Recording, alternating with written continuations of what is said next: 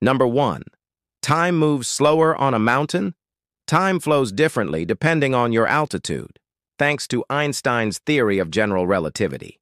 The higher you are, the faster time moves. So if you lived at the top of a mountain, you'd technically age a little faster than someone at sea level. We're talking nanoseconds, but still, time is literally relative. You're not late. Your clock just lives lower than you. Number two, you can die from not sleeping. In 1963, 17-year-old Randy Gardner set a shocking world record. He didn't sleep for 11 days and 25 minutes. He told reporters, I just kept thinking. But years later, he admitted, I couldn't think at all. My brain had stopped working.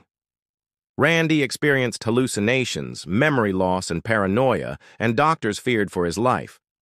Sleep expert Dr. Matthew Walker revealed that sleep deprivation increases your risk of death by up to 50%. That's as dangerous as smoking 15 cigarettes a day. Guinness World Records banned sleep deprivation challenges forever.